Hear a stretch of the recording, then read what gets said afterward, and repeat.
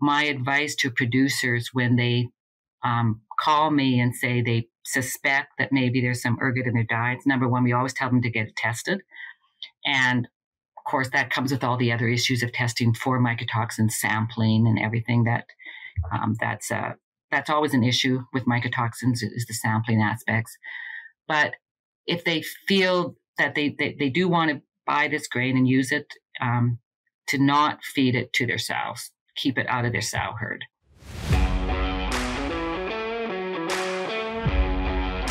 Hello, everyone. I'm Dan Columbus, your host for today's Swine it Canada podcast. And today, uh, our guest is Dr. Denise Beaulieu, who is an assistant professor of monogastric nutrition at the University of Saskatchewan. So, thanks for joining us today. How, uh, how are you? I'm fine, Dan. Thanks for having me. Yeah. Um, so, Denise, uh, be, just because some of our audience may not be familiar with you and, and, and what you do, um, I'll ask to, for you to give a, a brief, you know, background on yourself uh, where you've been, the types of stuff that you've done, and, and, then we'll get to the, the topic of the day. Yeah, well, currently, as you mentioned, I'm assistant professor of monogastric nutrition here at the University of Saskatchewan. So my role involves both teaching and research in that position, and both and teaching at both the undergraduate and graduate levels. And I'm involved in both poultry and swine nutrition. Uh, my background isn't in monogastric nutrition. I I did my undergrad here at the University of Saskatchewan, and I did what a lot of people did back. Um, we're talking a few a while ago here, a few decades ago, did the traveling thing, and I spent a couple years in West Africa, and I came back, and I was really lucky to get a job at a feed company. And I looked at the nutritionist at that, that feed company, and I thought, oh, there's the job I want to have. So I went back to get my master's degree, and that was here at the university with Dr. Dave Christensen, which um, some of your uh, followers may recognize that name. And that was in applied dairy science. And then I surprised myself by finding out that I really loved the research. So I went to Ohio, the Ohio State University and worked with Dr. Don Palmquist in ruminant lipid metabolism and, and fat metabolism and got my PhD there and then on to a postdoc at the University of, of Illinois with Dr. Jim Drackley. And then I just happened to uh, kind of, uh, for various reasons, wanted to return home to Saskatchewan. So I started at the Prairie Swine Center as a research scientist working with Dr. John Patience. And it was a, not a bad learning curve. I think it's easier to go from ruminant to monogastrics and you just kind of forget the rumen. And of course, working with somebody like like John Patience, uh, he taught me a lot. So I was really, really fortunate. So I've been here at the university now for only about six years. So it was, it was at, at the Prairie Swine Center for almost 20 years and then and then moved he, moved here to the U of S. it's a, it's a, an interesting history. I think not one that a lot of people have as switching species and and and going back and forth, but um, I think definitely gives potentially a, a, a perspective that not, not, a lot of people have when they're when they're focusing on the things and maybe not not as in in the silo as a lot of us academics uh, tend to uh, to be accused of. Um, so we'll get to the, the, the the part that I think everybody's interested in, and and some of the the research and topics that you are that you've been interested in. And I know a lot of this is related to the increase in byproduct usage, or or the the, the focus on byproduct usage in in swine, and the the the potential issues, and and and I guess even more so the potential um, uh, benefits of, of using that. Um, so I I, I, guess we'll start with the the issues, um, and that's mainly with mycotoxins. Uh, and I know you specifically got ergot, but I think a lot of the mycotoxins are definitely a problem the the, byproducts. So how about uh, just discuss some of the the work you've been doing, what you've been finding? Yeah, definitely. And I know Dan, you've also done some work in this area with Don, and we also did some work with Don or uh, uh, deoxynivalenol. And so mycotoxins are we talk about them a little bit more when we're talking about co-product feeding because they tend to be concentrated when we're making um, flour or whatever from wheat or barley uh, the mycotoxins tend to be around the outside of the kernel and so if we're using wheat mill run or something like that or screenings screenings can be really bad uh, they can be higher in mycotoxins than than the than the parent grain of course, we want to use these co-products. They're great. Uh, we can turn what is essentially a product with not much use into high quality pork uh, protein and and do it at a relatively cheap cost. So we want to figure out how to use these. Um, there is some evidence that, like every year, like we have some here in Western Canada, some years are good and very very low levels of of, of mycotoxins in our grains, and some years very high depending upon the weather conditions. However, there's there's evidence that the tendency is increasing that whether it's changes in climate or maybe changes in uh, well, climate and growing conditions, or perhaps um, growing crops further north where we didn't previously grow them, we are seeing change, a general slow increase in in in in in in, in these mycotoxins. So we did some work. Uh, we've been doing some work both in poultry and swine, looking at ergot. And ergot is a really, really interesting, it's a group of compounds. It's from a fungus, the, the claviceps species. Uh, develops like like like all mycotoxins or, or most mycotoxins in in the field, uh, kind of depending upon the growing season. But cool and wet conditions are are good for developing this this fungus that we get the ergot comes from. Uh, ergot has a really really interesting history. Uh, it's still used. The ergot alcohol, ergot alkaloids are used still in in in in in, in human in human um, as, as, drugs for humans. We still use them somewhat. But if you go back in history, there's times like of mass hysteria, like the witches of Salem, and that have been it's it's controversial, but perhaps attributed to ergot that people ingested ergot, and it causes this hysteria. So it's kind of fun to read about it, and there's even I think some short movies and short films and things about it. So, but it uh, but the alkaloids still are used in, in, in human medicine, as I mentioned. Um, and I mentioned alkaloids. It's not a single compound. There's hundreds of ergot alkaloids. They're all common properties that they're alkaloids, but lots of differences uh, besides that. Um, we typically, when we do an analysis, uh, we analyze for six of them. So six different ergot alkaloids is what is what we typically analyze. Is what is what we analyze for. The analysis that we do, um, it requires HPLC tandem mass spec, so it's quite an involved analysis if you're working for something like the Grain Commission or you're trading grain, what they actually do is they just count the the, the ergot bodies, the, the uh, sclerotia. I, you, can, cut that out, Dan. they just count. I'll just say they just count the ergot bodies, and so depend for trading situations, it's just a percent of ergot. Unlike other mycotoxins, you can actually see the ergot bodies in the grain. So by cleaning, uh, sorting, by density sorting, you can clean the grains to get rid of most of the ergot. However, if we're dealing with a co-product or screenings or something like that, then of course we, we can't see the ergot body because it's, it's probably been ground. So we work with the Prairie Diagnostics over here and they do our analysis for us. They gave, they give us six different alkaloids and they also have recently um, refined their analysis analysis to give us the various epimers within those alkaloids. So each alkaloid is an R and an S epimer. And just change, and so that's just changes in the stereochemistry. It's like an isomer, but slightly different chemistry than, than an isomer. So very small changes to go from the R to the SS epimer.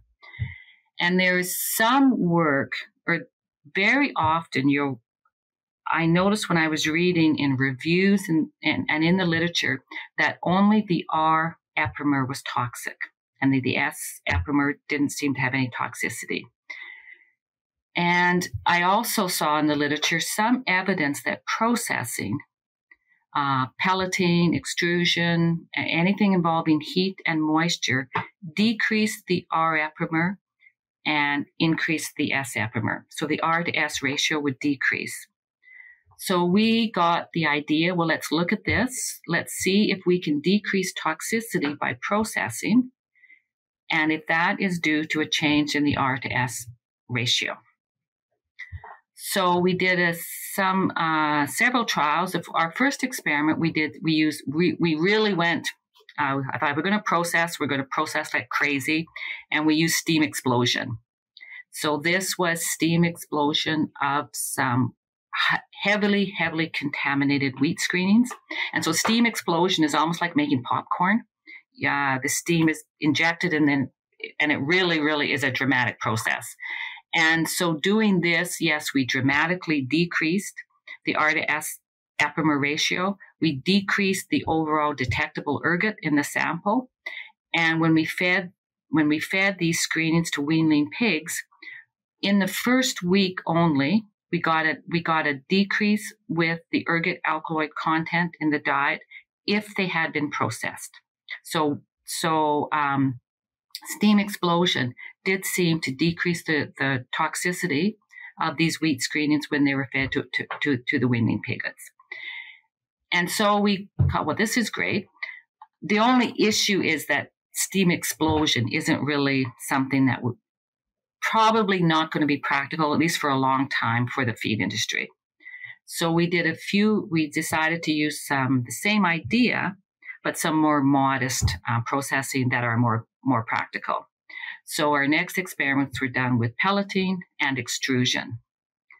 And with these, we targeted uh, zero to four parts per million of, ergot, total ergot alkaloids in our diets. And we did extrusion and we did pelleting. And we did see a modest shift in the R to S ratio, again with pelleting, and more so with extrusion. So our model worked where we did see a decrease in the R and an increase in the S. However, when we fed these diets to pigs in grow finish, we since we did weaning pigs in the first experiment, we decided grow finish from 65 to 120 kilograms body weight. We um, we failed to see an effective processing on the performance of these pigs. So even though we changed the ratio and we decreased the R epimer, we didn't see an, an effect of that on, on, on, on, on the growth of these pigs. So we, this was primarily in performance. And um, there was only at 4 ppm, only modest effects of the ergot alkaloids in general. We saw a modest decrease in feed intake in the first week that we gave them the test diets. So whether that's palatability or whether that's a direct effect, uh, we know the ergot alkaloids or some of them act on um, some of the, the brain re- receptors that affect feed intake directly. Uh, it was really only in the first week that we saw that. And um, there was some modest effects on growth, but overall, in the 42 day trial, we didn't see any dramatic effects on performance of these pigs and no, and, and as I mentioned, no, no effective processing.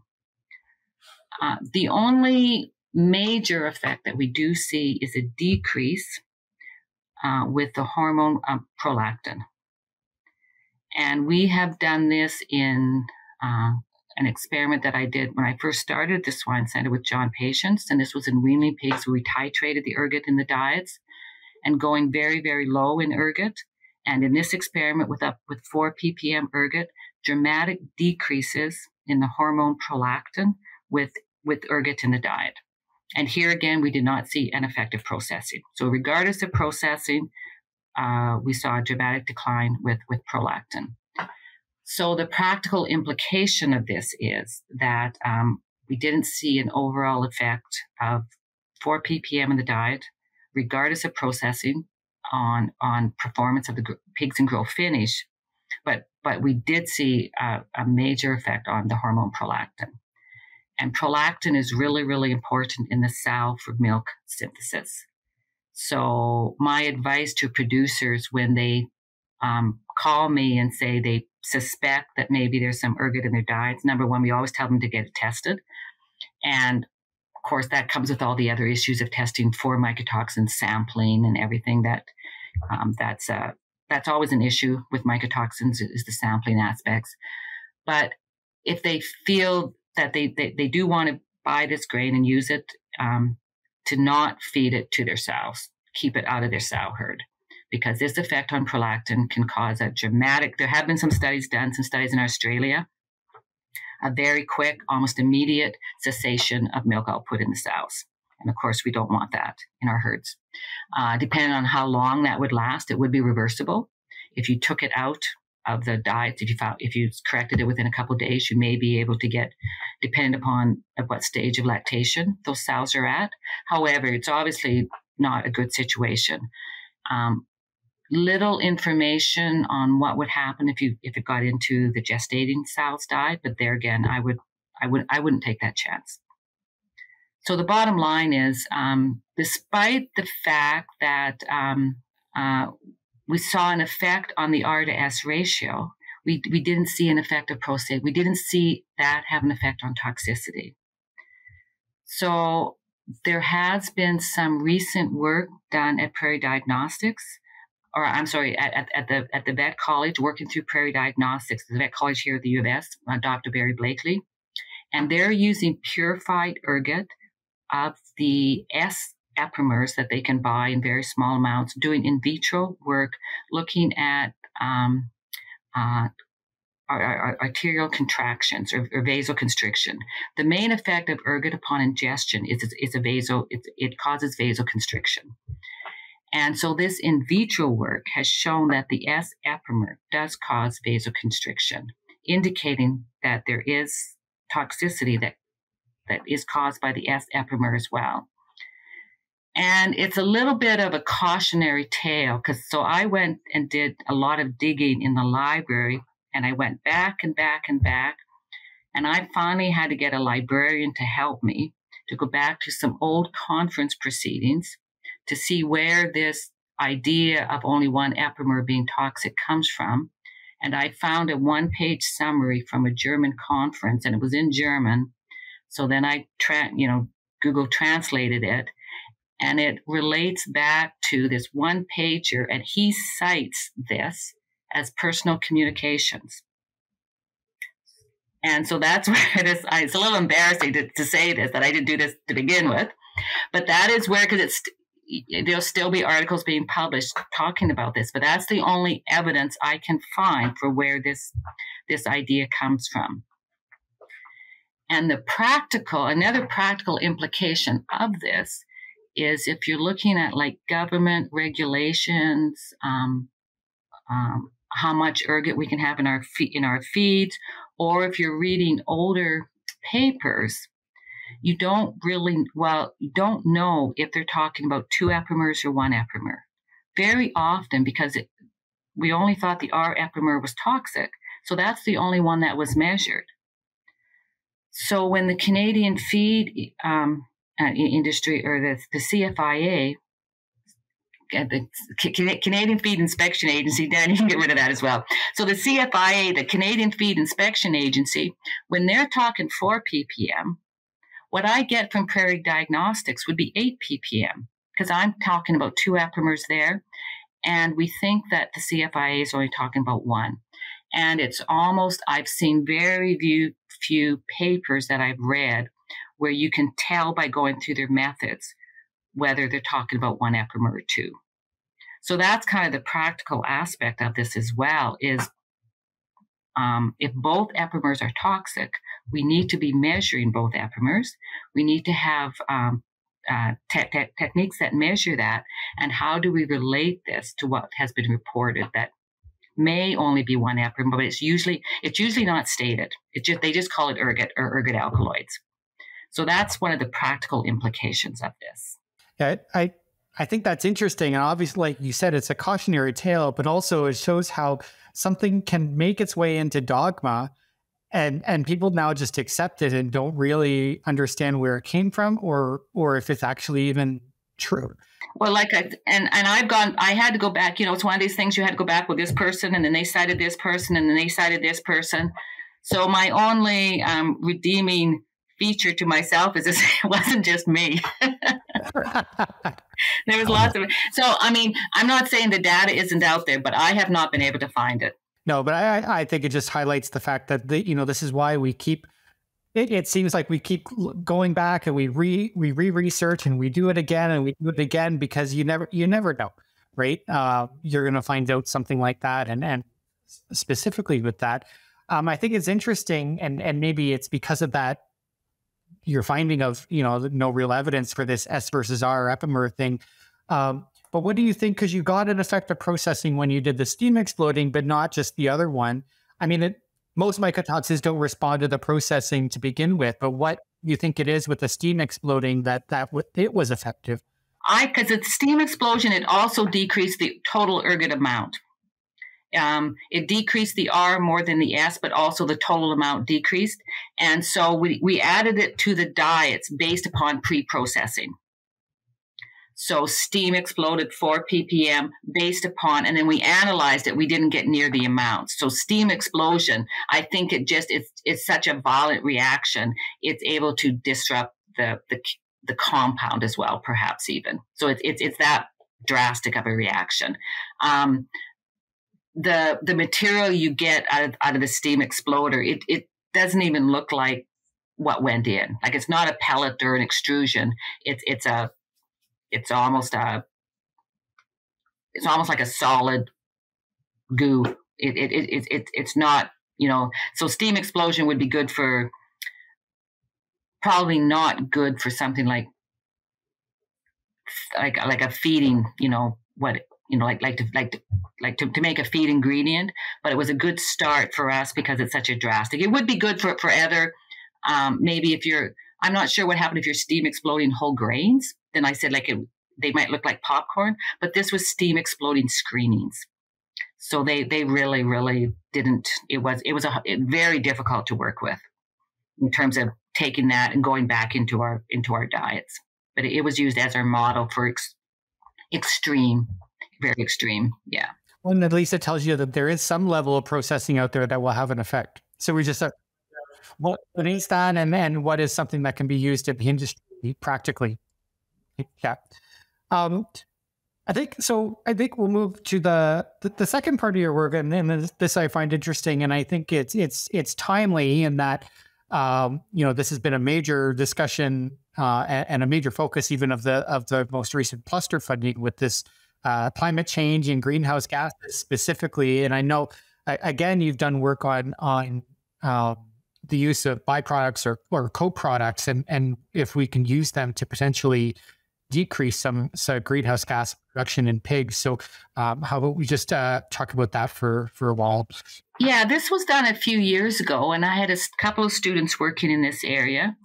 And my um, the starting point for this was I know they're developing feed or ingredient tables and trying to put some element of, of the carbon footprint from that ingredient in the table that we could use in our feed formulation.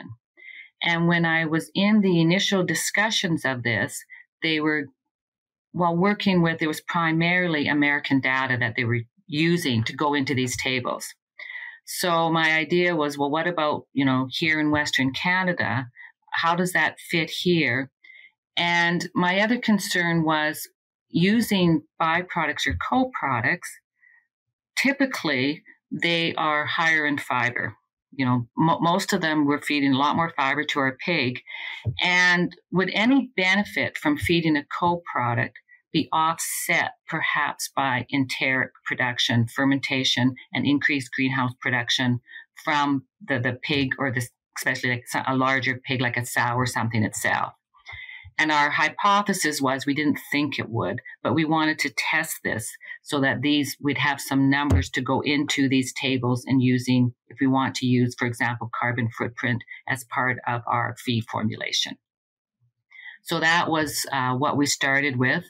Our, our, our hypothesis was that we could feed these co-products and not see an increase in greenhouse gas output.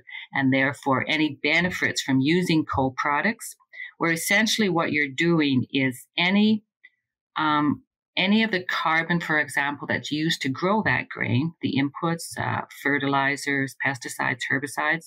So there is a carbon footprint of growing that grain. Uh, I recognize there's also benefits. There's um, uh, sequestration in the soil, improvements in the soil, whatever. But the overall benefits, if we use a co-product, any of those carbon inputs, where um, we're taking some of that and we're using, you know, we're making, we're make anything we can do to make more use of the grain kind of uh, d- d- dilutes out the carbon inputs that was used to, to, to grow that, if that makes sense.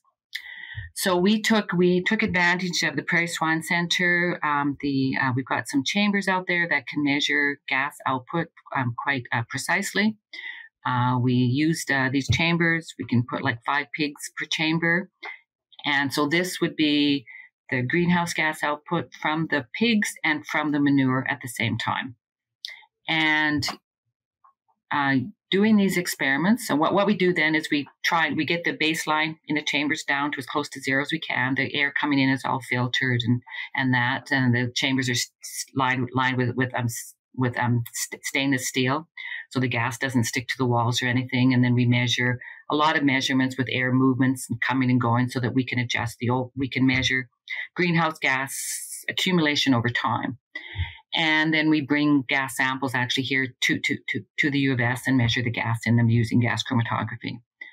And, and we were not able to going up to 15% um, uh, wheat screenings in the diets or, or I'm sorry, 15 or 30% wheat screenings in the diets or 15 or 30% peas. Uh, we could not measure an increase in greenhouse gas or any of the greenhouse gases from these pigs. Uh, we, were, we were looking at peas as well because peas would have the extra benefit of nit- nitrogen fixation in the soil. So, but they also have a different fiber characteristic. Uh, greenhouse gases, it was extremely variable, day to day, pig to pig, treatment to treatment. But overall, um, the enteric output, uh, what, what we, we couldn't, we could not measure an increase. So we can be confident that we can use these pigs, we can use these byproducts and any of the benefits from using a byproduct. So taking, taking the carbon that's being used to grow that grain and spreading it out over, you know, over d- different uses. Um, we can do that without having the cost of increased enteric production from the pig. The only uh, one caveat, what we did see was increased manure output from these pigs, the overall quantity of manure, as one would expect with increased fiber. And that wasn't included in our models. So we didn't model the increased manure output and the cost of it, of spreading it onto the land. But of course, because that manure could replace, depending upon how it's used on the land, it could replace inorganic sources of fertilizer. Um, it, it's quite a complicated model and it, it can be a benefit or, or a detriment depending, upon on the model that you used. But that is one thing that I have to say, we, we and we did not include that in our model. But overall, um, and certainly um, this has been shown by, by others in terms, especially in just basic modeling experiments, that use, using these co-products will decrease the carbon footprint of pork production. And certainly, um, pork production is not known to be a high carbon footprint protein to begin with. So this makes makes make makes it even better. So it's kind of a win-win situation. They're low cost and something that we can use and improve the environmental sustainability of, of pork production. Yeah, I, I, think it's definitely a good news story for for pigs. You know, even though we we are low to begin with, so it's not really. I I, I think a lot of the the climate change discussion has not really surrounded us.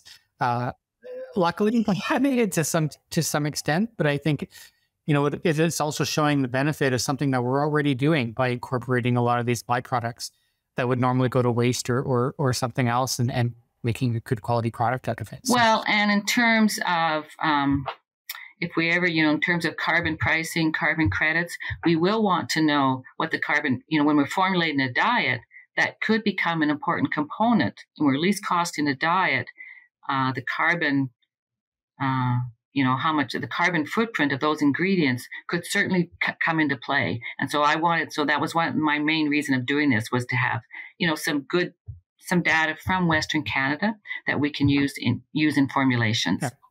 i guess other than that specific data that, that you're talking about when you were working with these models was there information that seems to be like lacking as maybe even more so for pigs that you know we, we should focus on and, and maybe need to improve this yeah. Um, I was working with the Ag Canada modders down in Lethbridge. So this is the HOLOS model, H O L O S. And that model had been developed for beef production. Okay.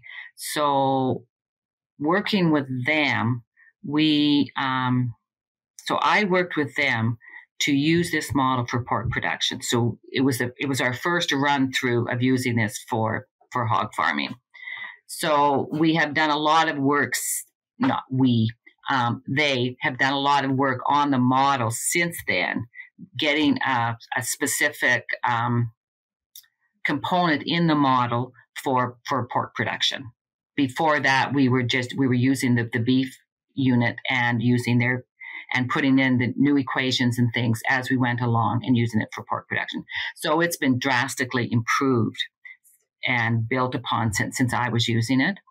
Um, so I, and we were just doing the modeling as kind of another part of this experiment to help them and add value or add um, some data for their modeling. I mean, my main part, my main part was to get data to go into the models.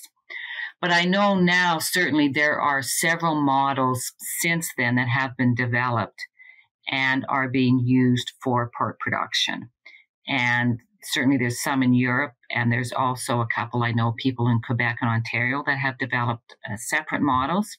And I don't know enough about them, but some of them are, I think, quite a bit more involved than the Holos model, perhaps.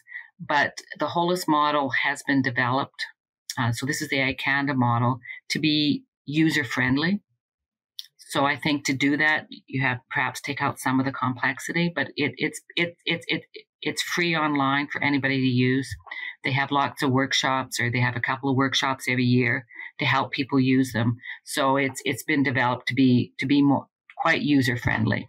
So and that that's another advantage for me using it. I use it in my teaching. So I show the students some of the aspects of what goes into a greenhouse gas model, and they're always quite you know when I say it's user friendly, not as complex, there still are a lot of equations in the background. And they're always quite amazed at how much detail there is. So it, it's really informative for them to, to, to, see what to see what's involved in these models. But it, but it was developed primarily for beef. So in, in Alberta, of course, a lot of work being done with with the beef industry and and greenhouse gas output. Yeah, it'll be interesting to see how it develops, and obviously, you know, probably be a very good tool in the future for you know, that we will have to incorporate into into feed formulation or production. I, this discussion's not going anywhere, right? So no, and I know there are some people out there currently working and are putting similar, the same data in the various models and seeing how they compare. They come out with the same uh, conclusions. But each model, I think the most important thing is to define your boundaries. So when we were doing our work, like I say, we didn't go out to spreading the manure on the land, but we did incorporate growing that grain. And so to do that, we would have to, we picked a specific soil zone, soil zone in Saskatchewan, for example. So the rainfall, the climate data, that was all in the model. Uh, the average fer- fertilizer inputs and all of that was in the model. So the all the agronomic characteristics for that soil zone were in the model. So we could model the carbon footprint of growing that grain, bringing it into the barn, putting it into our diets. And then we stopped at uh, where that pig would leave the barn.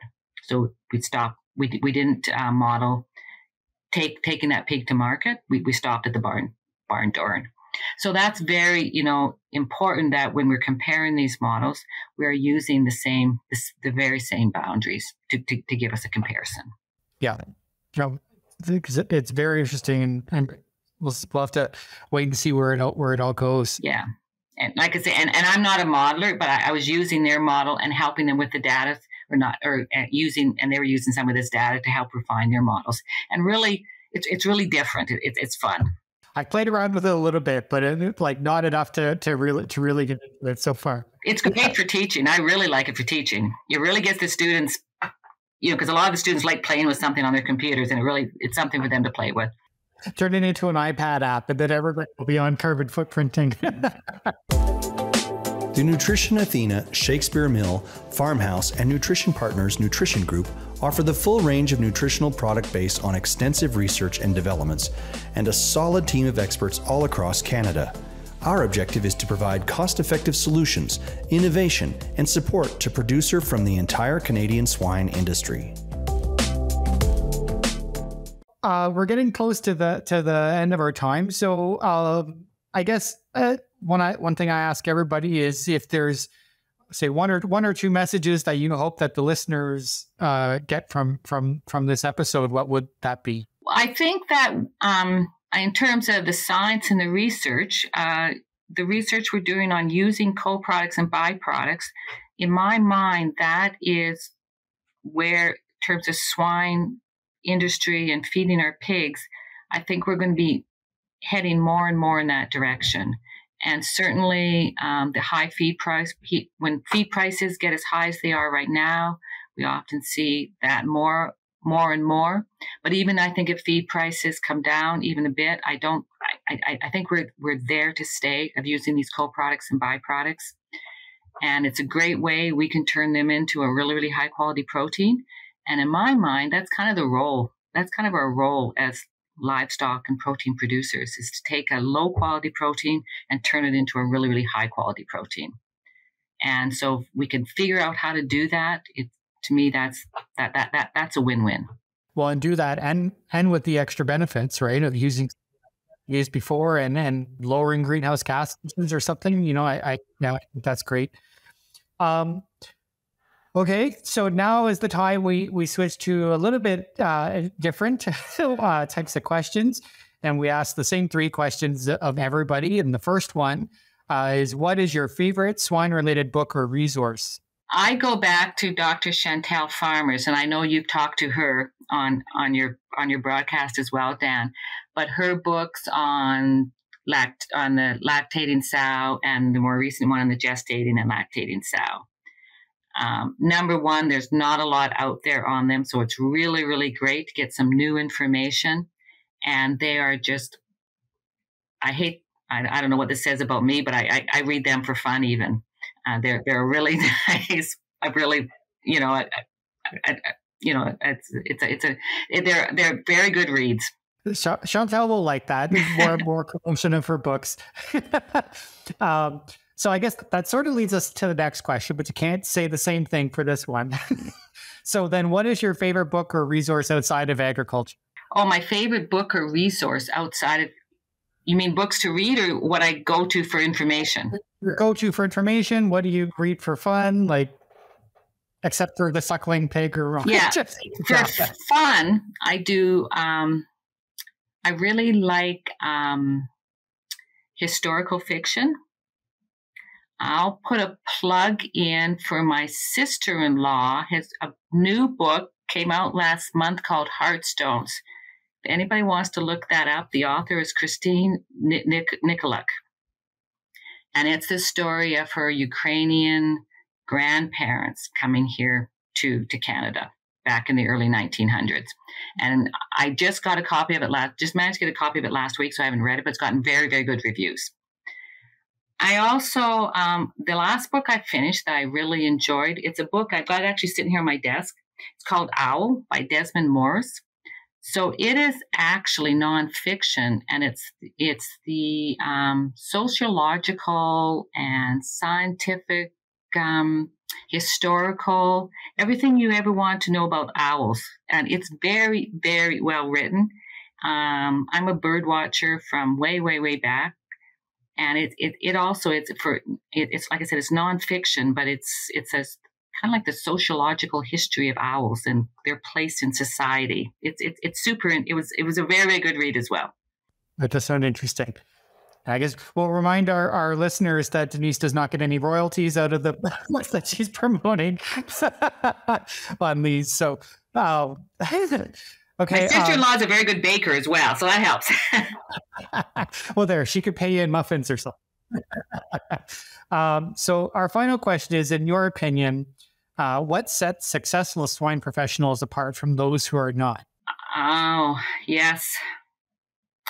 Curiosity, uh, flexibility. Uh, you have to be willing to to, to change because uh, things are changing. So I, I would go, I would go with those two. Be curious. Why is happening to, you know, we, we can see what's happening, question why it's happening, and then, and, and be flexible. Um, the world is a changing place and we kind of have to almost enjoy flexibility as a challenge And I know that's that's a little bit more difficult if you are something like a farm manager and you've got a barn that is, is sitting there and you don't have it's it's easier for me to perhaps do that when I just have a desk and I'm sitting here at the university. But I, from what I see around me and people I work with and the people I've been privileged to work with in my career, those are a couple of things I've noticed certainly. And and and, you have to enjoy it. I agree. I think it's it's like like you said, it's easy for us to sit here behind the desk and say, "Oh yeah, you should be doing this," but you know, what what does that mean at, the production level? But yeah, obviously, being willing to to change and accept that is is it is is clearly something very important. so. okay, well, I think that brings us to the end. So. Uh, I hope hope you enjoyed your your time and thank you very much for, participating in, in this and uh, maybe we'll have you on in, in again in the future. Thanks, Dan. Thank you.